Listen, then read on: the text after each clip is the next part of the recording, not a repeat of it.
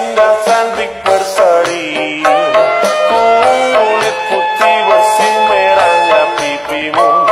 Ya Aisyah putri Abu Bakar istri Rasulullah